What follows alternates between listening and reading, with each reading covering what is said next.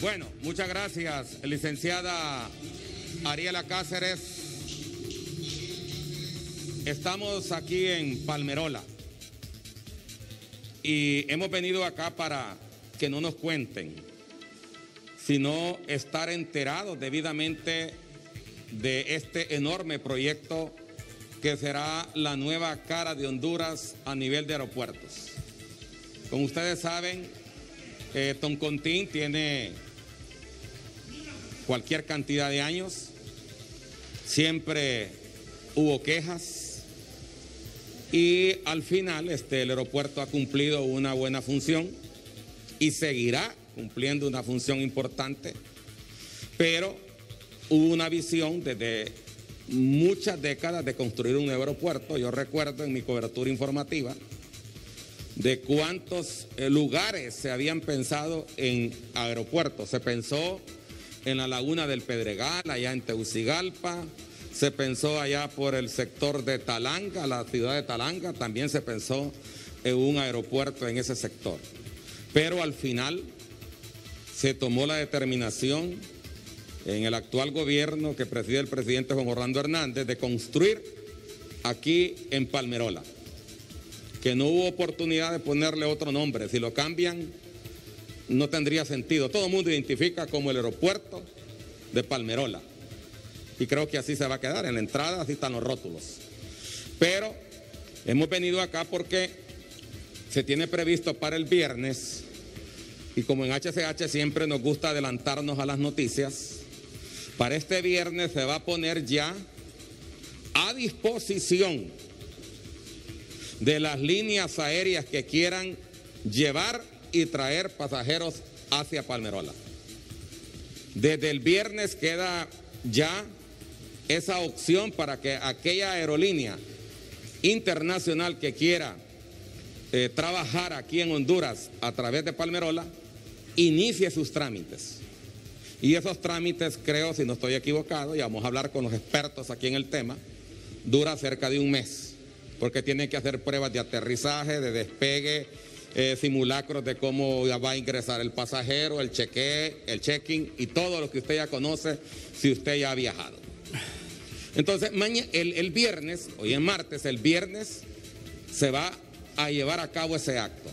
No es la inauguración, la inauguración del aeropuerto, me imagino, será en otro, en, otro momento, porque todavía vemos gente aquí trabajando en algunas áreas. En algunas áreas aún todavía está gente trabajando. Por ejemplo, yo aquí, usted puede ver, este es el área en donde van a estar los pasajeros esperando para salir de vuelo. Impresionante, impresionante, extenso, enorme. Igual para el otro extremo, acá en donde estamos ubicados.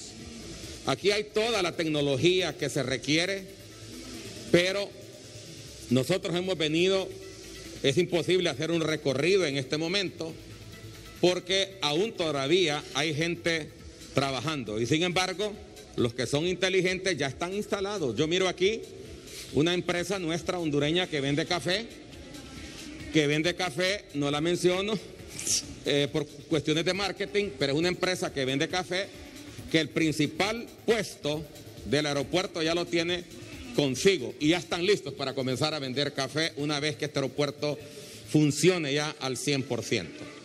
Entonces, usted durante esta transmisión que estamos, Arielita, Patti, Alex, en esta transmisión usted va a poder ver, usted va a poder ver eh, todo, lo que, todo lo que hay ya de este aeropuerto. Todo lo que las mangas, la pista, eh, los parqueos, porque aún todavía, repito, insisto, no es la inauguración física de la obra, no, es la apertura para que los aviones o las líneas aéreas que quieran eh, recoger o trasladar pasajeros de aquí a cualquier parte del mundo vengan a Palmerola, hagan sus trámites y eso sí, hay una garantía, ya voy a hablar con don Peter, ¿verdad? Fleming, que es la máxima autoridad acá, que ha tenido esta enorme carga, no sé a qué hora duerme, no, quisiera tener una chamba de estas, la prisa, la premura, eh, el ajetreo que hay aquí, gente trabajando por todos lados. Claro, la hora estaba prevista terminarse antes, pero el tema de la pandemia, el tema de la pandemia, recuerdo que una de las primeras obras que se comenzó de nuevo a trabajar, aún estando la pandemia, fue Palmerola. Fue Palmerola. No estuvo todo el tiempo extenso, largo, eh, sin laborar. Pero estamos aquí y tengo al director general de este proyecto, a don Peter Fleming, que quisiéramos este, que nos hiciera un recuento, eh, si no estoy equivocado, qué es lo que va a pasar el viernes. Eh, se habla ya de una fecha de vuelo. Spirit, creo que la primera línea, tienen un compromiso ya prácticamente porque yo he visto a través del internet que ya están vendiendo pasajes y sin duda alguna eso será un momento también importante para ustedes que han estado al frente de este proyecto. Sí, don Eduardo, eh, definitivamente bienvenido a Palmerol International Airport. Eh, también a toda su teleaudiencia, eh, agradecido por usted estar acá. Yo sé usted que es de Comayagua y me imagino que se sentir orgulloso de ver una obra que durante tantos años fue un sueño, un sueño que pues en algunos momentos sentía que se fumaba, pero realmente creo que lo más importante es que ahorita es que estamos ya llegando a la etapa más importante de todo este proceso. Como usted bien lo dijo, el día viernes, que es una fecha establecida dentro de nuestro cronograma de obras, es el 15 de octubre, nosotros haremos el lanzamiento oficial de que el aeropuerto está operativamente listo para comenzar el proceso de certificación con la Agencia Hondureña de Aeronáutica Civil y las líneas aéreas para que hagan su chequeo, su checklist operacional a modo de que ellos puedan validar que tanto los sistemas de check-in, los sistemas de rayos X, los sistemas de manejo de equipaje, las puentes de embarque y todas las facilidades operacionales del aeropuerto están eh, Incluyendo el tema de migración. Incluyendo el tema de migración, el tema de la aduana, el tema total. Este aeropuerto, Eduardo, como bien lo decía usted, este, lo complejo de este aeropuerto es que es un aeropuerto con la más alta tecnología en la industria aeroportuaria mundial. Contamos con un sistema inteligente de manejo de equipajes. Manejamos, por ejemplo, en, el tema de los counters, manejamos kioscos e incluso ya podemos llegar hasta el reconocimiento y el check-in facial. Hay líneas aéreas que ya no le quieren dar papel, ahora le quieren tomar una foto y esa sea su boarding pass para entrar al, avión. Igual será con el pasaporte.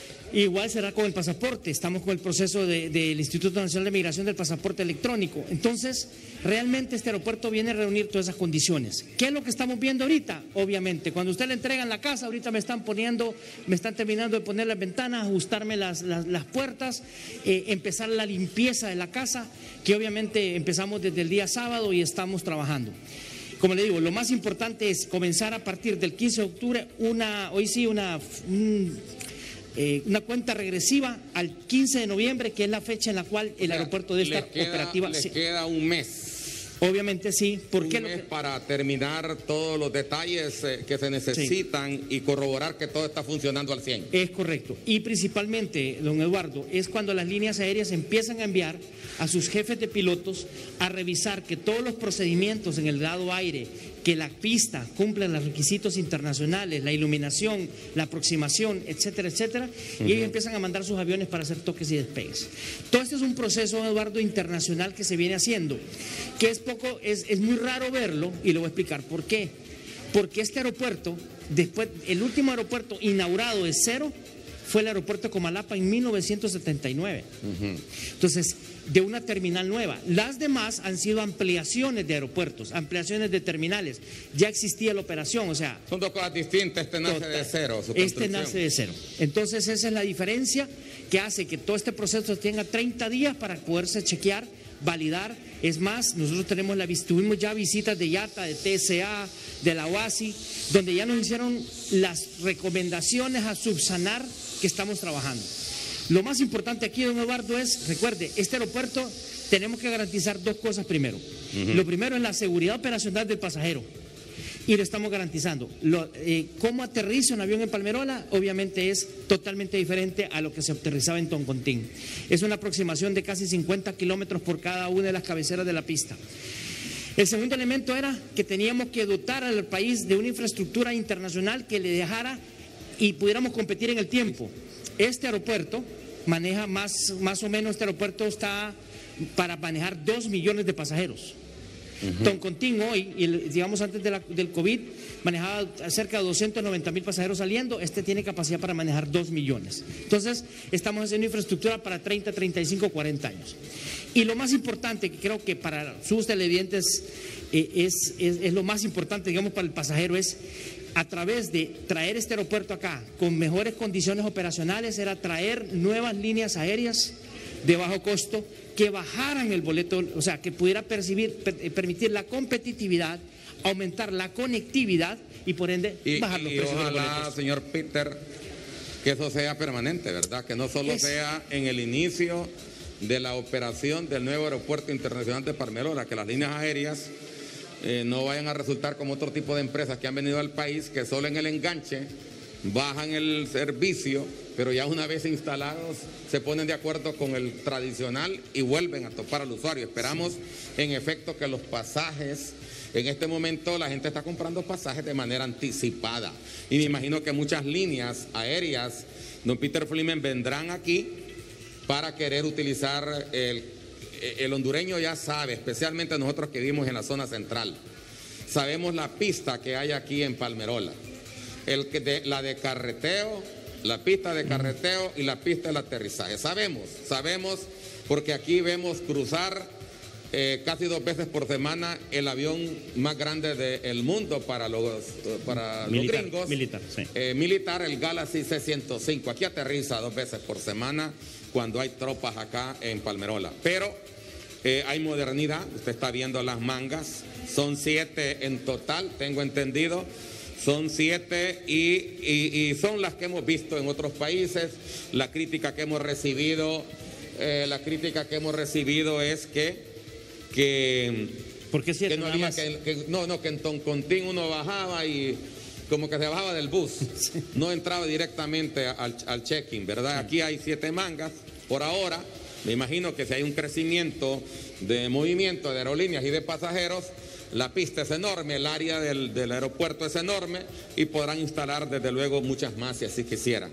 Pero repito, no hay ninguna duda. Está, ¿Cuánto vale este, este, este aeropuerto? Mire, el Hasta ahora la inversión, la inversión, ¿cuánto es la nacional y la internacional? Mire, recuerde una cosa, hay tres elementos dentro de la concesión. Eh, fondos de reconversión de deuda de España, que podríamos sumárselos a la, a la deuda, digamos, a la inversión gobierno que anda alrededor de los 120 millones de dólares y nosotros hicimos ahorita todo un refinanciamiento y andamos cerca también de los 120 millones de dólares como, como consorcio privado. Lo importante aquí es que hay un ese tercer elemento que es los fondos de reconversión de deuda de España, que es el gobierno y pueblo español que confió en el proyecto, eh, cambió la deuda para invertirle en este proyecto y eso es importante. Ahora, hay detalles que quisiera, quisiera ir diciendo para los que nos están viendo hoy esta tarde. El aeropuerto de Honduras más grande es este. Va a ser este. Va a ser este. Eh, la tecnología de última la tiene Palmerola. Es más, uno de los retos más importantes, don Eduardo, es que la tecnología que trajimos no existe en ninguno de los aeropuertos, ni siquiera del norte de Centroamérica. El otro detalle es que ya no nos va a pasar lo mismo que en Toncontín, que son poquitas las, eh, en el momento que llega el avión, son poquitas las ventanillas. Aquí habrá, me imagino, mucho más. Se habla de 34 puestos uh, migratorios para atender a los pasajeros. Realmente eh, los hondureños, porque este aeropuerto no es de Comayagua, es de, nosotros, todos los hondureños, lo único es que está instalado en la zona central, en Comayagua, precisamente en el municipio de la vía de San Antonio, porque no, eh, eh, usted sabía que este aeropuerto pertenece a la vía de San Antonio y no a, la, cabecera, no a la ciudad de Comayagua. Sí, casualmente el, alcalde de la Villa de San Antonio tenemos muy buena relación, nos ha ayudado, ha trabajado muchísimo con nosotros. Tiene un laberinto de cipreses que quiera visitar. No, pues. ya hemos transmitido, HTH siempre va adelante. yo sé que sí. Sí, entonces, bueno, eh, eh, eh, el, proceso de migración de aduanas ¿Eso va a estar listo también ya en estos 30 días? Todo eso va a estar. Mire, don Eduardo, la idea, como le digo, es, primero, cuando el pasajero hace, va saliendo del país, todo el proceso de check-in ya está instalado, estamos probando ya todos los sistemas, son los problemas, sistemas que vendrán a ver las líneas aéreas. Las líneas aéreas ya están instalando también sus oficinas en los back office, eh, también para trabajar todos esos temas. Eh, luego el pasajero pasa por migración, ya están las máquinas y los counters colocados, eh, todo el, el equipo de, de bioseguridad de- ya también está colocado. Eh, también tenemos, tenemos las máquinas de última generación de rayos X, que ese ha sido el reto más importante. Usted sabe que ahorita traer, importar de Asia es complicado, no hay chips, no hay, no hay, no hay, no hay tecnología. Las máquinas ya están aquí, todas, no tenemos ningún problema con, con la importación ya. Están operativas, están en el proceso de, de entrenamiento al personal de la DSA, de la Dirección de Seguridad Aeroportuaria, que obviamente son máquinas de última tecnología. Entonces necesitan un entrenamiento. Las salas de espera, como usted puede ver, mobiliario ya está. Estamos ya puliendo pisos, limpiando, colocando pantallas. Entonces, este proceso ya está. La terminal tiene que estar el viernes vestida para iniciar el proceso de certificación, para que las líneas aéreas vengan a validar. Es más, tengo la visita del presidente de IATA para Américas el día de mañana por la tarde. Quiere hacer una validación. Eh, lo más importante está energizada la terminal, O- cuenta con puentes, O sea, aquí está, aquí está delimitado bien, no es un solo salón, está No, señor. delimitado bien los pasajeros que van con conexión para otra aerolínea salen por Así otro es. lado, Así el pasajero que ya cae aquí tiene otra salida Así y así es. sucesivamente. Mire, es más, la- este aeropuerto, usted sabe que cuando usted va a El Salvador y sale de la puerta de embarque y va para otro destino, lo mete en un corralito. No, nosotros no. El pasajero que viene entra por un nivel inferior directamente a migración y sale. Si va en conexión, lo volvemos a subir al procesador porque esta sala o sea, solamente es de para embarque. salida. Solo para embarque de salida. Bueno, eh, eh, eh, yo quisiera contarle a la gente, a la gente lo va a poder ver este, cuando le toque alguna oportunidad de viajar.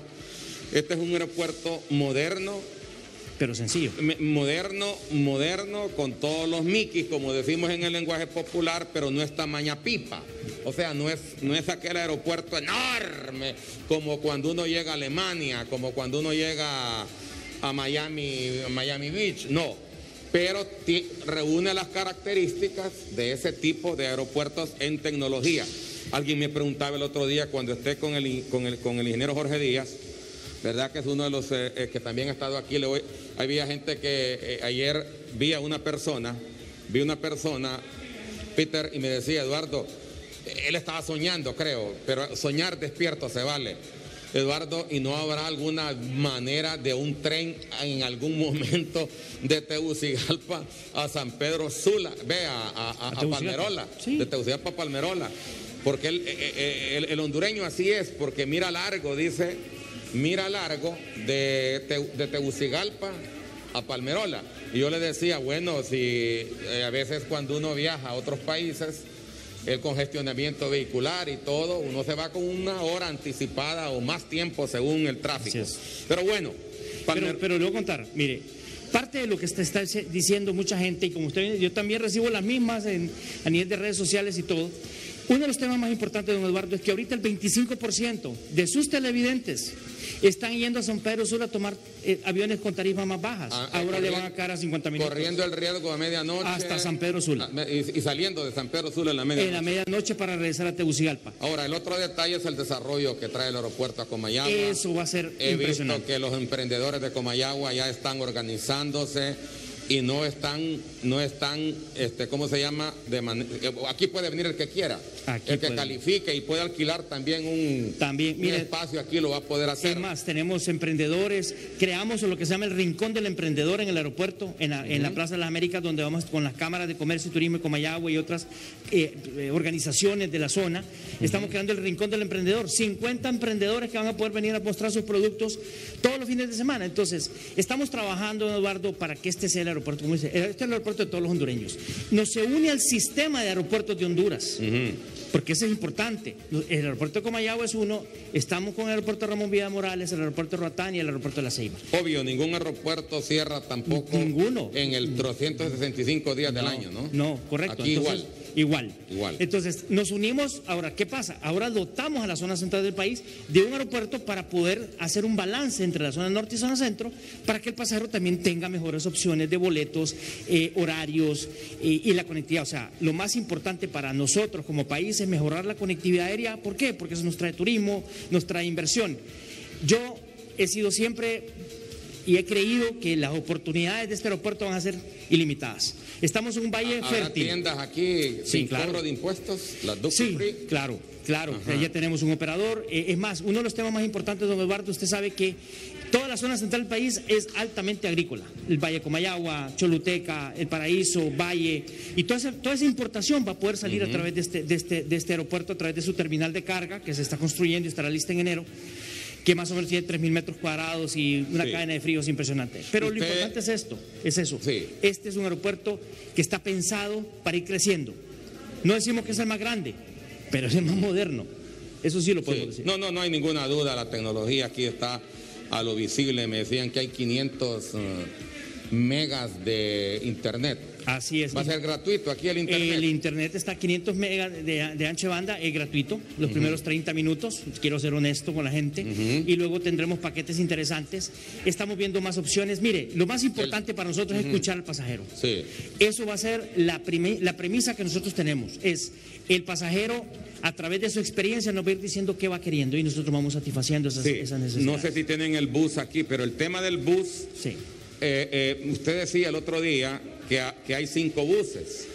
Para todo aquel que no tenga pasajeros, ve, que no tenga carro, perdón, que no tenga transporte y viene, por ejemplo, de Tegucigalpa, ¿a ¿dónde, ¿dónde se aparcará este bus allá? En Toncontín. Ahí en Toncontín. Ahí en Toncontín. Es que el, el Toncontín también es estatal ahora, ¿no? Exactamente. No, eh, Toncontín debe ser operado también por nosotros para, porque son aeropuertos complementarios. Haremos también un puente aéreo que estamos buscando ya la aeronave, el personal, estamos creando todo el modelo. Pero empezamos con el bus. El bus son una unidad que se llama con, Y, el y Panuelo el- Connect. y- y- y Y con- pregunto, en el bus usted puede traer las maletas que usted quiera, Abajo tiene capacidad para la maleta. gratuito. Es gratuito. Eh, pero solo para pasajeros, ¿verdad? Pasajeros, mire, el tema que tenemos es, nosotros tenemos una característica, Eduardo, a nosotros nos va a dejar un montón de gente, o nos va a, viene a recoger un montón de gente. El servicio del bus trataremos de que sea pasajero, pero si viene con acompañante, pues tendremos un límite, obviamente. Ahora, ¿qué es lo que estamos tratando de hacer? Y con todo esto es también, hay otras empresas de transporte, don Eduardo, que, se, que se quieren sumar a esa iniciativa, obviamente a un costo de 100 lempiras, 150 lempiras por trayecto, a lo cual nosotros decimos, No, cualquiera 150 puede no optar, nada. si alguien no quiere, le da pena ir en bus, Pues sí. que se vaya en carro particular. Me imagino que habrán los famosos VIP. Habrán taxi, hay taxi VIP, Sí. pero ¿sabes lo más importante también? Es que estamos creando un tarifario en radiales para que no haya el abuso hacia el pasajero. Bueno, lo único que no está encendido aquí, hay un montón de cosas que no están encendidas, pero el aire acondicionado aún no está encendido, por eso usted me mira un poquito rojo, igual a, a Peter. pero el aire no está encendido por problemas que aquí todavía hay gente trabajando. Aquí trabajan las 24 horas del día, ¿verdad? Estamos trabajando 24 horas del día hace aproximadamente como unos 40 días. Sí. Eh, obviamente para poder sacar todo eso. El aire ya se están probando en la noche porque el día, pues obviamente por la carga térmica, pero ya el viernes estarán funcionando al 100%. Sí. Ahora, este, voy a llamar a, a Jorge Díaz, creo que está por acá. Él es el, eh, él es Gerente el de operaciones. gerente de operaciones, o sea, el que le pasa todo a usted de cómo va, Es de cómo, de cómo van los trabajos. Usted es de origen chileno, ¿no? Así es. Chileno, Jorge Díaz. Jorge Díaz, sí, yo Sí. soy chileno, eh, he trabajado en, en- en- en- en varios eh, aeropuertos, tanto en Chile como, como en Colombia, y ahora estoy trabajando acá en el, en el proyecto de, de- de Palmerola, la Sí. verdad que muy, muy contento con Ahora dígame con el algo, explíqueme usted, porque hay dos detalles, Peter, que me interesan de, de Jorge. Uno es porque la gente pasa enfrente del aeropuerto y dice, ¿cómo van a, cómo dicen que ya está el aeropuerto? Si todo el área principal de, de lo que va a ser el estacionamiento de vehículos eh, aún no está. Me imagino que eso es un trabajo acelerado y que deberán determinar en cuánto tiempo ustedes han previsto. Sí, el, el ingreso del aeropuerto actual es un, es un, eh, es un ingreso eh, proviso- provisional. Sí. El ingreso, digamos, lo estamos trabajando en otro, en, en- en otro sector. Eh, ya llevamos un avance, un avance importante, se, se están, digamos, terminando los últimos viales eh, y, y- y para, digamos, la fecha de inauguración, sí la gente va a ver No, una no. entrada muy... Habrá muy- una muy- entrada, pero, pero yo, yo acabo de entrar ahí. No, no, para el viernes no va a estar. Me imagino que las obras continúan. Sí, el viernes sí. El viernes terminamos el vial de acceso. No, la, la- la- la principal, pero Sí. no toda el área de fundición de Ah, algunas faltan áreas. que algunas áreas, Me sí. parece que es importante. Sí, correcto. Van, van a haber algunos, Pero- digamos que esto, esto se va a mantener, ¿cierto? Sí. La gente no va a tener ningún problema para ingresar ni con sus vehículos, Sí. ni a través de ningún, de- digamos, de- ni de los buses, ni de nada. Eh, va a estar totalmente operativo. Obviamente seguimos con, con los trabajos, digamos, de, de- de jardinería, ¿cierto? Sí. Y de todo eso sí se demora un tiempo más en estos proyectos. Y hay otro detalle que creo que se mal interpretó porque a veces eh, los hondureños preguntamos mucho y generamos también algunas dudas en algunos detalles este días. Y tiene que ver con la torre de control. Eh, tú me explicabas fuera de micrófono que en efecto la torre de control estrictamente que ustedes están haciendo aquí y que es española va a estar dentro de unos seis meses, pero que ustedes han instalado una torre de control que reúne todos los requisitos provisional para que funcione en el despegue y aterrizaje de los, de los aviones.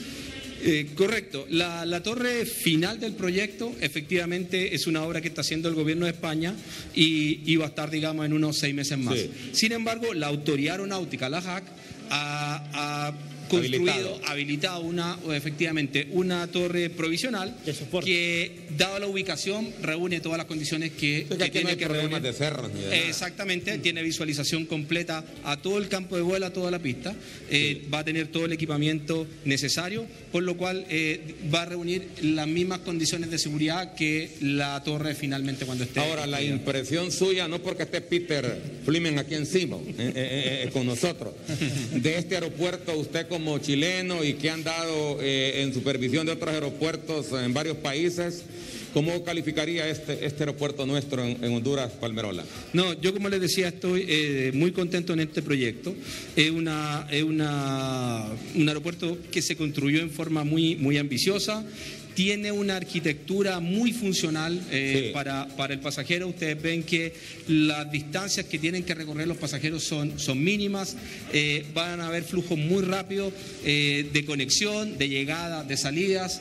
Es un aeropuerto además que cuenta, como ustedes hablaban, con toda la tecnología, incluso tecnología que tiene aeropuertos mucho más grandes, con mucho mayor tráfico, eh, y, que, y que de todas maneras este aeropuerto lo va, va, va a contar. Así que yo la verdad es que estoy bastante orgulloso y creo que toda la gente debería sentirse bastante orgulloso de este proyecto que va a empezar eh, muy pronto la- la operación. La mayoría aquí es de mano de obra hondureña y más comayagüense. ¿Cómo le ha resultado la mano de obra aquí, el trabajador? No, digamos que eh, se ha, se ha tratado efectivamente de tener eh, mano de obra de la, de la zona, ¿cierto? Eh, la verdad es que muy bien, ustedes ven los resultados, la obra está casi terminada, los detalles arquitectónicos son, son impecables, eh, mm, todo ha resultado perfectamente con la gente, Miren, con la hay gente un acá. tema, hay un tema importante y es aquí, es, y eso sí hay que reconocerlo. Hondureños estamos construyendo esta obra, que es una mega obra, como usted bien lo dijo. Y lo estamos haciendo y estamos empujando, y se lo digo, la participación de, los, de las personas de la zona, y no solamente como Mayagua, de La Paz, de Valle, porque tenemos gente que viene hasta de Cihuatepec, hasta de Yohoa a trabajar acá. Y creo que la labor ha sido impresionante y sigue llegando más gente. Es más, ahorita estamos con el proceso de, búsqueda de, digamos, de personal para las tiendas, trabajando con el Ministerio de Trabajo, trabajando con las Fuerzas Vivas de Comayagua, y, la emoción es, bastante fuerte. Al punto, don Eduardo, que, tuve que, que tuvimos que, ahorita estamos implementando un segundo food por la cantidad y la demanda de, de- de- de ofertas de comerciales que estamos teniendo. Obviamente, ese es el, el boom que todo el mundo espera. Esperamos también traerlo. Ya ahorita, con la operación de Spirit de Aeroméxico, prácticamente estamos duplicando el número de rutas que teníamos en Tegucigalpa. Ya tenemos 50% más, dos líneas aéreas más y estamos negociando con tres más. En este proceso vamos a anunciarlo en los próximos meses. Pero créame, creo que lo más importante hoy es que esas tarifas bajas que teníamos que buscar, ya las puede encontrar. Spirit.com y aeroméxico.com y usted se puede meter. Spirit, yo me metí ayer porque todos los días monitoreo los precios. El precio a Miami estaba de 297 dólares y. ¿Para cuándo? Para ahorita en diciembre. O Entonces- sea, ellos piensan hacer su primer vuelo, dice, El 17 de noviembre empiezan. Su eh, vuelo y a- sale de aquí. Y sale de, bueno, llega, llega de Fort Lauderdale, de Houston y de Miami, llegarán aquí al mediodía y saldrán ese, ese día. Eh, también algunas, eh, Aeroméxico lo mismo a partir del mes de diciembre. Tenemos ya también información de líneas aéreas que ya operan en Toncontín, como American Airlines, eh, United, Avianca, que están planeando nuevos vuelos. Están ya, por ejemplo, el vuelo a Dallas colocarlo cuatro veces por semana. Todo eso es área de parqueo, ¿no? Todo, es- todo lo que está techado es estacionamiento, 1.200 estacionamientos techados.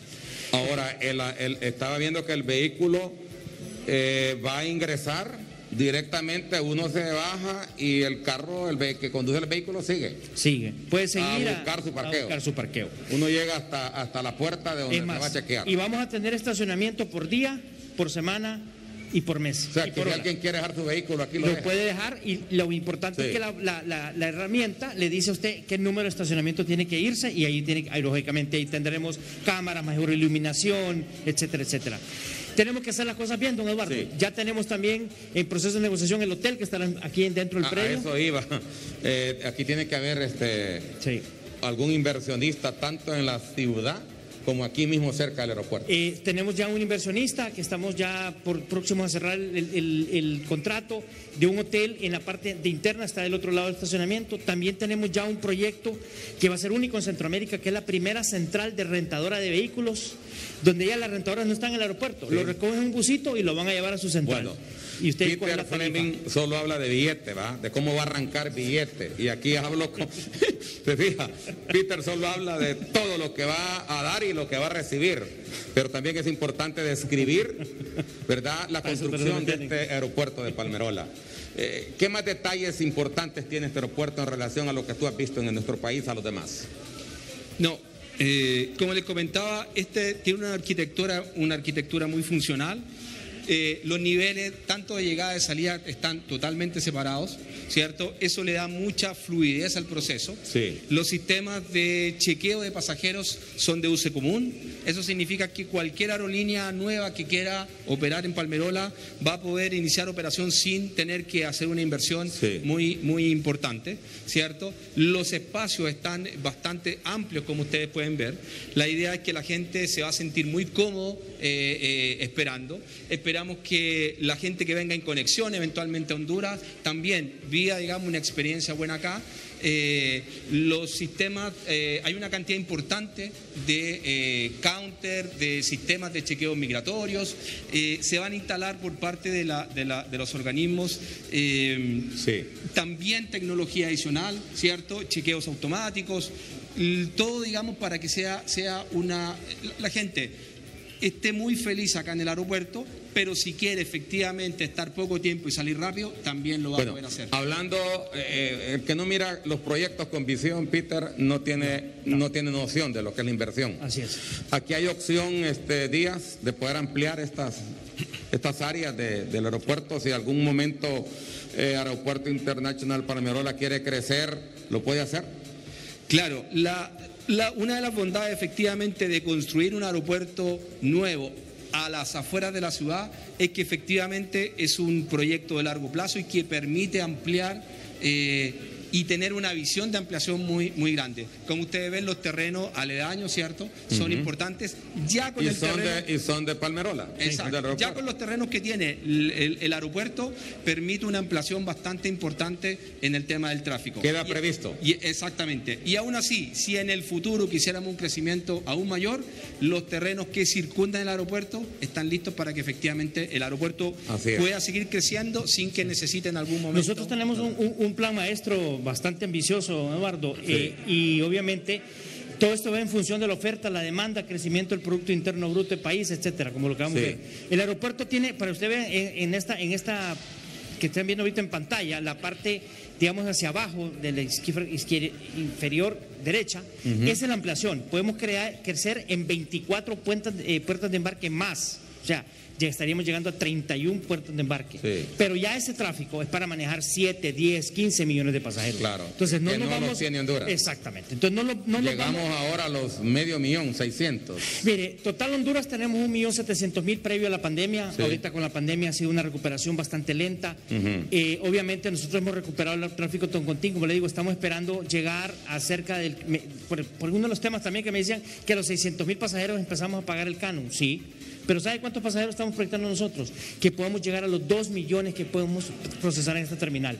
Que estamos hablando Bueno, en es los próximos que 10 años. podría duplicarse. pu- Hay gente que no viaja por el costo del pasaje. Por el costo del boleto. Entonces y yo también, y creo que hay que educar a la gente también, ¿verdad?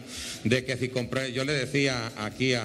Hasta incluso los a- boletos internos. Yo le decía aquí a Díaz que eh, que el problema de nosotros, los latinos, es que queremos comprar el pasaje el día que vamos a viajar. Y ahí es más caro. Y si usted lo compra con anticipación, planifica sus vacaciones, su estadía en otro país, los pasajes le pueden, la mayoría de, de gente que viaja y que conoce de este mercado, viaja con mías o viaja con pasajes que los compró en temporada baja. Sin ninguna duda. Sí. Bueno, tengo aquí también, este, quería hacer pasar acá, aquí quédense. Si quieren nos sentamos aquí para estrenar nosotros Bueno, esto.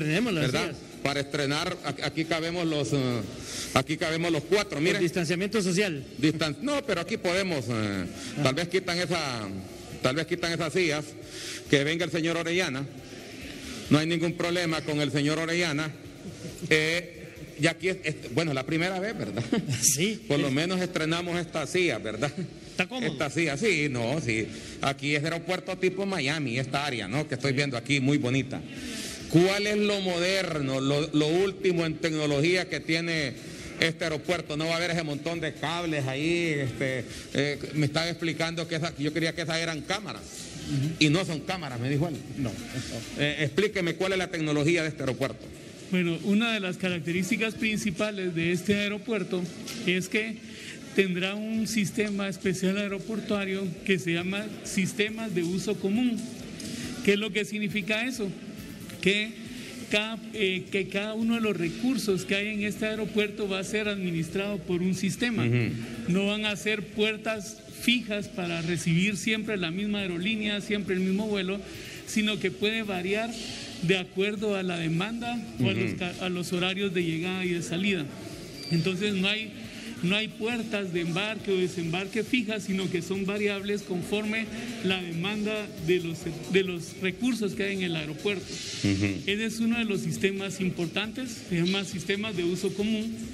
Eh, también en la parte de check-in counters, de igual manera son asignados de forma automática y no son fijos como en otros aeropuertos donde inclusive ponen su publicidad las líneas aéreas permanentes en los counters, sino que esto es variable de acuerdo a la demanda. Sí. Eh, Esos son algunos de los la gente siempre pregunta, ¿verdad? Por el rigio de la nueva tecnología, el Internet. ¿Cómo queda aquí este el Internet acá? Ok, aquí tenemos 500 megas de internet disponibles para los eh, pasajeros y la gente que nos visita y lo van a poder obtener por medio de Wi-Fi.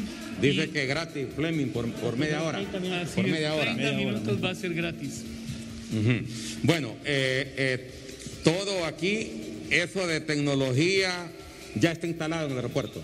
Sí, estamos ahorita. Solo dicen que, que está cubierto únicamente por polvo, pero que ya están instaladas los, los, eh, en las, las salidas de abordaje y todo. Así es, to- toda la parte de controles de acceso, por ejemplo, las pueden ver ya en las puertas principales, inclusive en, los, en las puertas de embarque ya están instalados, así como también la parte de parlantes, que es el sistema Paz, y las cámaras de seguridad y de, y de videoseguridad de, que hay dentro del aeropuerto también están instaladas y estamos Todo eso en ya, proceso cámaras, de configuración. todo eso ya está es. instalado. Y don Eduardo, importante, 495 cámaras tenemos en el aeropuerto para darle vigilancia y seguridad al pasajero. A todo el área. a todo el área. Y adicionalmente todo eso está concentrado en un centro de control de seguridad, de seguridad de la policía, donde está la, la Dirección de Seguridad Aeroportuaria, y todo el control se hace a través de un lugar que se llama el CGA, que es el Centro Ahora, General de Control del el Aeropuerto. ingreso al aeropuerto, ¿cómo va a ser? Podrá entrar así como en cualquier parte del mundo. Uno llega al aeropuerto y puede tomarse su café, Sí, señor. eh, puede, y puede almorzar si le, si le da ganas, sin necesidad de que viaje. Sí, tenemos, tenemos la Habrá- zona, la pública. Desde luego, requiriendo documentación, requiriendo todo, de personas que pueden venir hasta por en algún momento a hacer algún turismo. Sí. Eh, sí, sí. Uno de los temas más importantes es, don Eduardo, hemos estamos ya eh, pues, logrando la aprobación del SINAGER de nuestro protocolo de bioseguridad que vamos a implementar en el aeropuerto, Sí. que va a garantizar obviamente sanitización, puestos de, de- de- de lavado de manos, etcétera, etcétera, para Sí. que podamos tener la- la vis- el visitante. Porque obviamente este aeropuerto que yo sabemos que en los primeros meses la gente va a querer venir a conocerlo. Sí. Pues tenemos que atender esa demanda. Yo quiero pedirle a ver si esto no estaba previsto, que nos sentáramos aquí. Yo como quería, estre- quería estrenar esta silla, ¿verdad? Ser el primero. Quería ver si alguno de nuestros camarógrafos, pues este es el área de fondo para atrás. Sí, pero señor. quiere que muestre el área de aquí para allá, para que mire lo extenso que es, eh, que es esta área de donde van a estar las personas que salen de, de viaje, ¿no? Aquí, ¿no? aquí son los que van a salir, no los que llegan. No, el- los que llegan es por abajo. ¿Y, y, y abajo qué hay? Está directamente, llega a migración, de migración va a maletas y sale del aeropuerto. Les pregunto aquí a Díaz, eh, mire, yo no, no voy a quejarme de Toncontín, porque es el aeropuerto que nos ha servido a nosotros los hondureños y seguirá cumpliendo un papel importante. Yo soy de los que creo que por un aeropuerto, dos departamentos o una sociedad no se puede dividir. Este aeropuerto es de todos nosotros los hondureños y aquí puede viajar quien quiera. Esta es una obra que viene a, hacer un cambio de que, de que el país va mejorando en este tipo de inversiones que son caras para nuestra imagen en el campo internacional. Pero me, quería preguntarle el tema de, que, en Toncontín uno cuando llega, pero nos ha servido, de verdad, nos ha servido, yo no puedo quejarme, pero ¿cómo está el trámite aquí de- de- de esas bandas para las maletas? ¿Hay algo moderno? Tú que eres el supervisor de todo este proyecto, hay una buena, hay, hay buenas bandas para el tema de las maletas. Claro, acá el, el aeropuerto, tanto para la salida como para la llegada, tiene sistema automático para, con clasificación, ¿cierto?, de, de equipaje. Eh, en la llegada no, vamos, se va a contar con, con- con tres carruseles, eh, con, con una capacidad importante de, de- de maleta, eh, lo por lo que las personas van a, van a, van a poder rápidamente, ¿cierto?, Eh, tomar su maleta y, salir. Hemos implementado eh, en conjunto con las instituciones de control algunas diferencias con, lo- con- con los procesos que tenemos en Toncontín, eh, cosa de evitar efectivamente que hayan algún tipo de- de demora. Eh, de que la persona, si quiere salir rápidamente. Ya o están instaladas, ¿verdad? Están instaladas. Sí, ya, ya, ya, ya están, ya están instaladas y se están, eh, digamos que están en los últimos, en los, en los últimos ajustes, ¿cierto? Eh, pero Hay sí va a ser un esas, sistema. dice. Hay Tres tres, de esas. Hay tres, O sea, hay tres vuelos pueden caer al mismo No, tiempo. tres vuelos. Cada banda esta puede atender hasta seis vuelos simultáneamente, Y es que es grande. que son enormes. Sí, son, son un tamaño mucho mayor de las que teníamos acostumbrado obviamente en Toncontín, eh, por lo cual digamos que la, la, la rapidez o, o- o el espacio, digamos, que va a tener la gente para retirar su maleta va, es bastante distinto a lo que venían, venían eh, acostumbrados al momento. Bueno, están en la etapa de fuego, diría yo, ingeniero Orellana, ingeniero Díaz, que están en la etapa de fuego, sé que van a encontrar muchos detallitos, que fue que falla esto, que falla lo otro, eh, es normal. Es Esos como- son los es 30 como- días. Es como cuando uno eh, se pasa a una, Una casa o la reconstruye, eh, que el switch no le enciende, Así es. que le falla tal o cual puerta. Hay detalles que tienen que pasar. Yo lo único que les puedo desear esta tarde es que ojalá terminen pronto para que puedan descansar. Porque me imagino lo apretado, lo apretado que ha sido para lo apretado que ha sido para ustedes esto de todos lados. Primero porque el gobierno ya está feneciendo. Segundo, porque el proyecto eh, tiene un tiempo de entrega, ¿verdad? Tiene un tiempo de entrega. Y lo otro es que ya se ha hecho celebraciones con bombos y platillos de este aeropuerto y la gente me imagino cuántos no quisieran ser los primeros en salir de aquí de un... eh, Es historia, pues. Yo salí en el primer vuelo del aeropuerto internacional de Palmerola. Ojalá que los que tengan esa...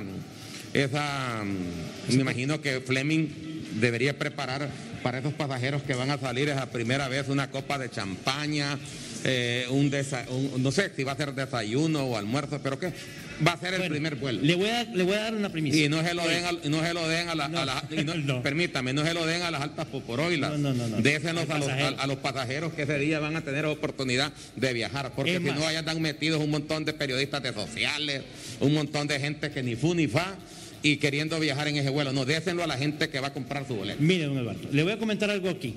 Primero, a partir del primer vuelo, que estamos esperando el 17 de noviembre de Spirit, ya hemos visto con la línea aérea, invitar a periodistas para que vengan en ese vuelo, para que vean a la experiencia Ahí de la está. gente. Uno. Dos, vamos a tener recepción de entrada y de salida. Y lo más importante, a partir de ese día, don Eduardo, a través de Hable Como Habla, vamos a rifar un número de boletos diarios en Spirit que nosotros mismos los vamos a patrocinar. ¿Por qué? Bueno. ¿Por qué razón? Para que podamos ver que los pasajeros vengan a tener su experiencia en nuestro aeropuerto. Bueno, otro detalle que quisiera para ir concluyendo ya, porque ya está Ariela y Alex y Patricia, allá en los estudios de Hable como habla. Otro, otro aspecto que para mí es importante es este, el parqueo, ¿cuánto va a costar? Mire, las tarifas de parqueo están eh, a un tercio de lo que se cobra en Toncontín. Estamos, Toncontín se cobra 24 Y van a rentar, dice, para que quiera dejar su carro por mes. Pero igual, a precios muy bajos, don Eduardo. Nosotros, ese no es, ese es el servicio que tenemos que dar, no el negocio que tenemos que hacer. El negocio es traer más pasajeros, más líneas aéreas, eh, generar mejores tarifas. El, estacionamiento es una unidad, lo único que tenemos, estamos cubriendo los costos de, vigilancia, etcétera, etcétera, pero realmente son, creo que ahorita en 6 lempiras la hora o sea, es un costo, porque tenemos que aplicarnos a, las tarifas que se manejan en Comayagua, no vamos a exagerar. Y una pregunta muy puntual. Eh, ¿Quiénes han sido los eh, veedores acá en este proyecto, en esta inversión enorme? Eh, los organismos mismos que han financiado también dinero para, el proyecto. ¿Los veedores quiénes son? Mire, le voy a comentar. Primero tenemos tres, el concedente que es INSEP, la Agencia Hondureña Aeronáutica Civil, que es el ente, digamos, regulador tenemos también todo lo que es la Dirección General de Aduana, Instituto Nacional de Migración. O sea, todos trabajamos, pero en función de darle todos los servicios al pasajero y cumplir lo que se llama la facilitación aeroportuaria. Pero obviamente también todos trabajamos en ver que las cosas pasen mejor. Ha sido un trabajo arduo, complejo, de tantas personas trabajando, pero créame, estamos trabajando, hemos venido trabajando bastante bien, usted ve los resultados. Eh, no, es, no es un proyecto fácil, son 40 mil metros cuadrados de terminal 40 mil metros, cuadrados. Es tres veces más grande que Toncontín y dos veces más grande que San Pedro Sur. Bueno, vamos a ver si tenemos la posibilidad de hoy le solicito, señor Peter Fleming. Yo me imagino que una vez entregado al aeropuerto termina la labor de días.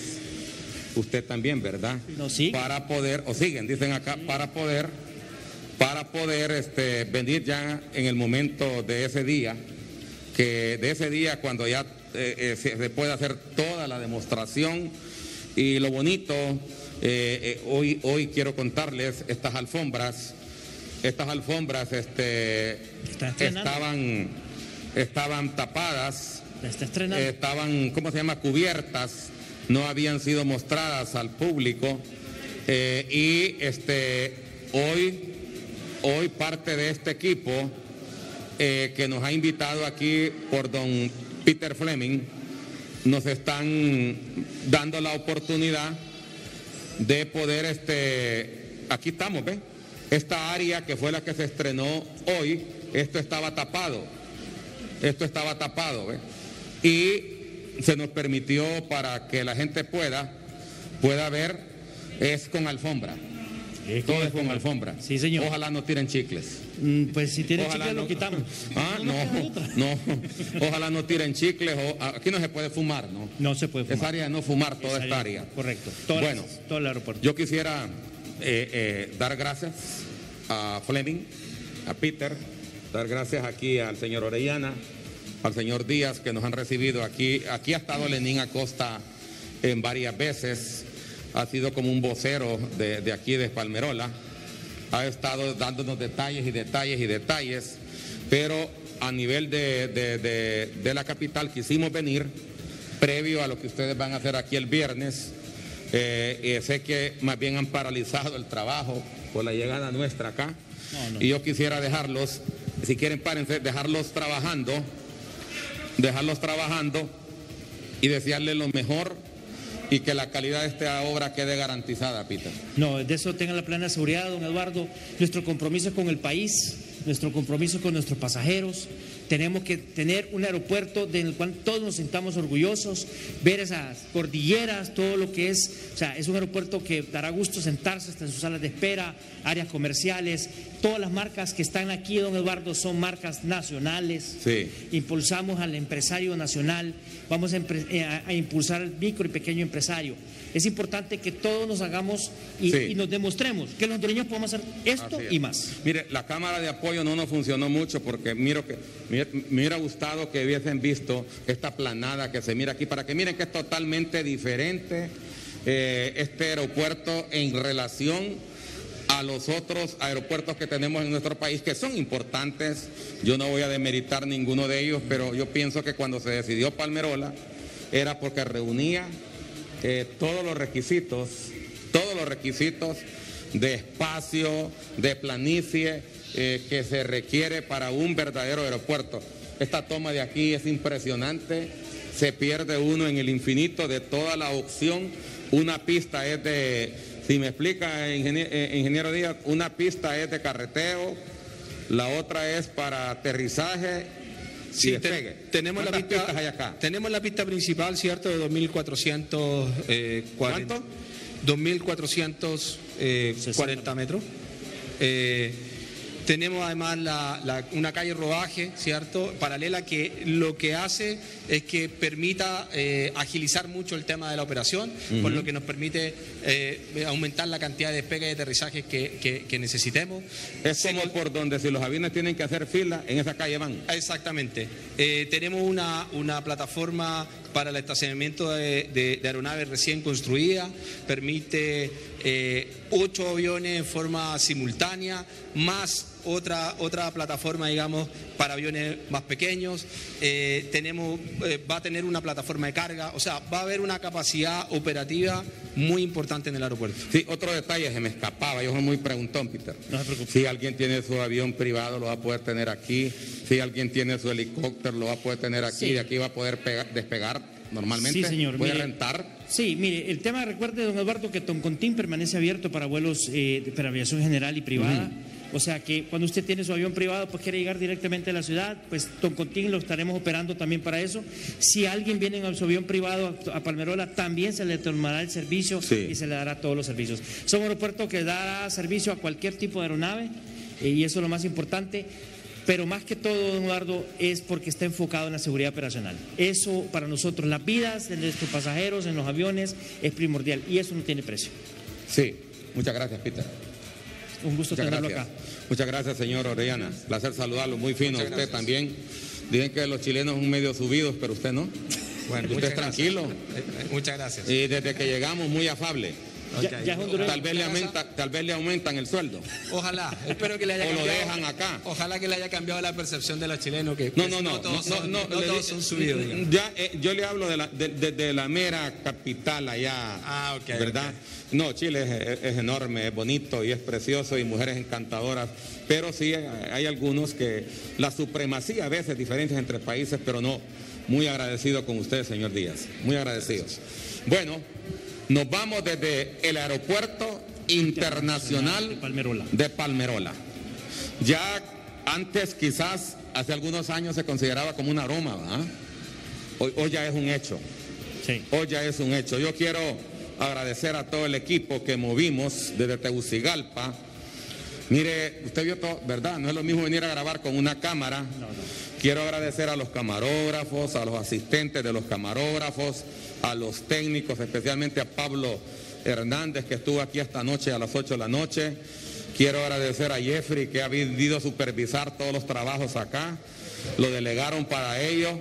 Igual a la coordinadora de esta transmisión, la licenciada Patricia Simón, a Vilés en el audio, exacto, preciso, a Numan dirigiendo los controles, a todo el equipo que andamos acá y especialmente a las atenciones que hemos recibido aquí en Palmerola Aeropuerto.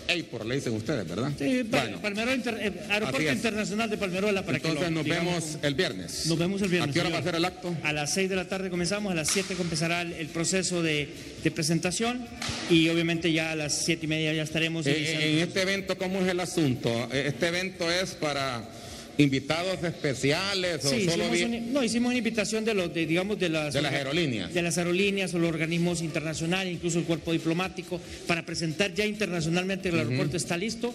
Empecemos a traer el líneas presidente de la República también estará Estará aquí? el presidente los de la ministros? Sí, señor. Ah, Todo. bueno. Todos Ah, hemos bueno. hecho un equipo para poder lograr este gran sueño que ya es una realidad. Hoy sí nadie puede decir que es un sueño, pero esta realidad es, eh, y, y como le digo, una realidad que es una mega obra que tanto tiempo hemos esperado, pero y, y además el, el honor para mí de dirigirla y de tenerlo usted aquí. Muchas gracias, muchas gracias por la invitación. Por la invitación, tenía que venir. Yo soy de aquí, oriundo del departamento de Comayagua. Y, y- cuando estaba joven, cipote, Aquí andaba con- con Eduardo Mayer venía a sembrar tomate. Aquí en Palmerola, aquí hay mucha tomatera. Yo venía en aquellos tiempos y no había carro, era a pie. Era a pie y considerábamos cerca de, Comayagua a Palmerola. Así es que a mucha honra. Nos vamos, nos despedimos desde acá con los ejecutivos de este trabajo enorme que se ha realizado acá. Yo solo quisiera que mostres aquella toma de cuánta gente está trabajando y algunos han dejado de trabajar. Aquí están trabajando las 24 Limpiando, miren, estamos limpiando, ¿Ah? la, estamos limpiando la casa ahorita, que es una, Sí, una 24 obra, horas trabajan acá, en todo, en todas las áreas para atender al 100 en el tiempo previsto que tienen como fecha, no lo del viernes, sino El 15 lo de del noviembre. 15, De que es cuando va a salir el primer avión de aquí del Aeropuerto Internacional de Palmerola. Nos vamos con este informe de último momento en HCH. Mucha atención. Último momento. Último momento. Último momento.